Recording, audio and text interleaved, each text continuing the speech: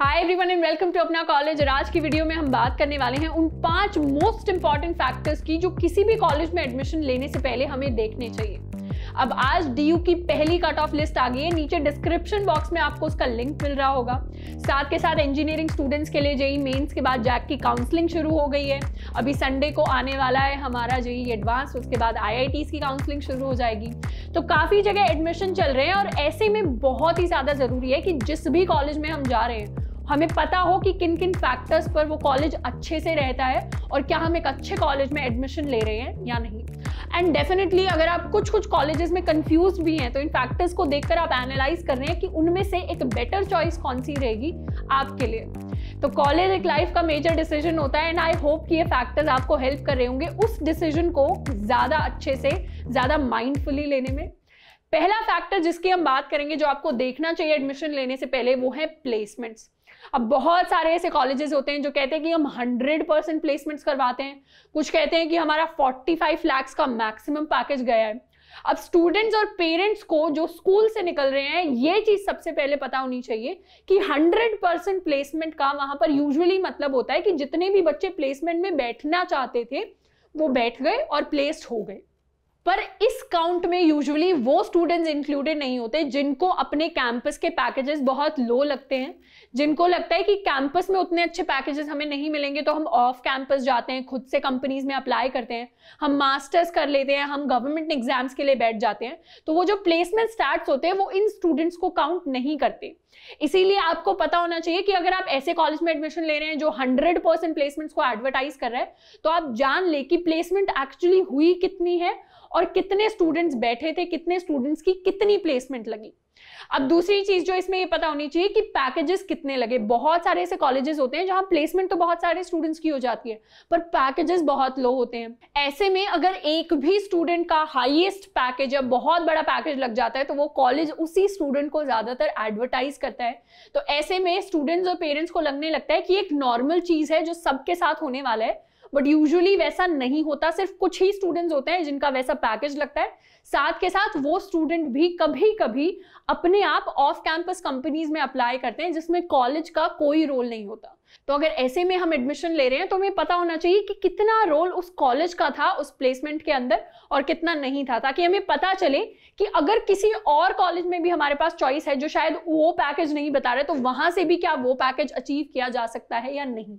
और जब भी आप प्लेसमेंट्स देख रहे हैं प्लेसमेंट्स एनालाइज कर रहे हैं तो सबसे पहला तो ट्रस्टेड जो है वेबसाइट्स वहाँ से आप देखें कॉलेजेस की जो ऑफिशियल वेबसाइट्स होती हैं, उसके अलावा सेकेंड चीज़ होगी कि वहाँ के आप लोगों के साथ फैकल्टीज नहीं स्टूडेंट्स के साथ इंटरैक्ट करें। अब स्टूडेंट्स जो होंगे वो सिर्फ़ एक दो स्टूडेंट से बात नहीं करनी, चार पाँच स्टूडेंट से एटलीस्ट बात करनी है, ताकि आपको थोड़े जनरल व्यूज़ मिले कॉलेज के प्लेसमेंट सिनेरियो के बारे में। और हमेशा आपको हाईएस्ट प्लेसमेंट या एवरेज प्लेसमेंट के बेसिस पर जज नहीं करना। आपको मीन प्लेसमेंट देखनी है कि ज़्यादातर बच्चों की कितनी प्लेसमेंट हुई है, उस हिसाब से आप थोड़ा बहुत देख सकते हैं, उस हिसाब से जज कर सकते हैं। अब एक सेकेंड चीज़ जो हमें कॉलेज में एडमिशन लेने से पहले करनी चाहिए, वो है वहाँ पर रहने वाले लोग, वहाँ के सीनियर से हम पहले से बात कर लें। वहाँ पर रहने वाले सीनियर्स जो आपके एक साल सीनियर है, दो साल या तीन साल सीनियर है, वो आपको बेटर बता पाएँगे कि कॉलेज कैसा है प्लेसमेंट कैसी है कॉलेज लाइफ कैसी है। टीचर्स कैसे हैं, पढ़ाई किस तरीके से करनी है, एग्ज़ाम्स कैसे देने हैं, एंड और भी बहुत सारी बातें। स्पेशली कि उस कॉलेज में जाने के बाद आपके पास क्या क्या अपॉर्चुनिटीज़ खुलती हैं कितनी कितनी आपको लाइफ में डिफरेंट डायरेक्शन में बढ़ने का चांस मिलेगा वो। तो कॉलेज सीनियर्स के साथ इंटरेक्ट करना बहुत ज़रूरी है, क्योंकि वो ऑलरेडी उस फ़ेज़ के थ्रू जा चुके हैं। जिसके थ्रू आप जाने वाले हैं। एंड एक दो सीनियर्स नहीं, आप डिफरेंट डिफरेंट डोमेन्स के डिफरेंट डिफरेंट सीनियर्स से बात करिए तो डेफिनेटली कोई ना कोई ऐसा सीनियर आपको ज़रूर मिल जाएगा, जो आपको काफ़ी वैल्यूएबल एडवाइस ज़रूर दे देगा, जो आपके करियर को क्या पता एक पॉइंट पर डिफाइन कर रही हो। तीसरी चीज़ जो हमें देखनी चाहिए किसी भी कॉलेज के अंदर एडमिशन लेने से पहले, वो ये है कि वो कॉलेज खुद को कितना मार्केट कर रहा है। यूजुअली इंडिया के अंदर जितने भी कॉलेजेस हैं वो चाहे गवर्नमेंट कॉलेजेस हो या प्राइवेट कॉलेजेस हो, वो खुद को मार्केट नहीं करते। आप कभी भी किसी आईआईटी का एड न्यूज़पेपर में नहीं देखेंगे। आप कभी भी किसी अच्छे कॉलेज जैसे बिट्स पिलानी का एड नहीं देख रहे होंगे एडमिशन के लिए, क्योंकि ऑलरेडी जो हाई स्कोरिंग स्टूडेंट्स होते हैं, उनको पता होता है कि कौन से कॉलेजेस अच्छे हैं और इनके स्टैट्स अच्छे हैं। तो उन्हें ज़रूरत ही नहीं पड़ती खुद को मार्केट करने की। तो आपको ये देखना है कि क्या मेरा कॉलेज मार्केटिंग में ज़्यादा इन्वेस्टमेंट कर रहा है या उसमें एक्चुअली उतनी अपॉर्चुनिटीज़ अवेलेबल हैं भी या नहीं? फोर्थ चीज़ जो हमें करनी चाहिए, किसी भी कॉलेज में एडमिशन लेने से पहले वो ये है कि आप एक बार एटलीस्ट एक बार अपने कैंपस को ज़रूर विज़िट कर लें। चाहे कोविड टाइम्स में भी हो, पर आप ट्राई करिए कि आपको परमिशन मिल जाए। तो कैंपस देखकर आपको वहाँ की वाइब समझ में आ जाएगी, पता चल जाएगा कैसी लाइफ होने वाली है कैंपस कितना बड़ा है, कितना नहीं क्या क्या अपॉर्चुनिटीज़ हैं लैब्स कैसी हैं क्लासरूम्स कितने बड़े हैं, कितने स्टूडेंट्स आने वाले हैं आपकी क्लास में। इस सब का आपको आइडिया लगेगा। साथ के साथ एडमिनिस्ट्रेशन के साथ आप इंटरेक्ट करेंगे तो ज़्यादा चीज़ें उस कॉलेज के बारे में आपको पता चलेंगी इन पर्सन। मेरे पास चॉइस थी इंजीनियरिंग कॉलेजेस में N S I T D T U and triple I T में। और मैंने तीनों कैंपसेस को विज़िट किया। एंड विज़िट करने के बाद अगर कैंपस लाइफ पर्सपेक्टिव से मैं देखूँ तो डी टी यू का कैंपस बहुत बड़ा था सेकंड नंबर पे एन एस आई टी का कैंपस था। एंड ट्रिपल आई टी का कैंपस जो था वो कंपेरेटिवली थोड़ा सा छोटा था।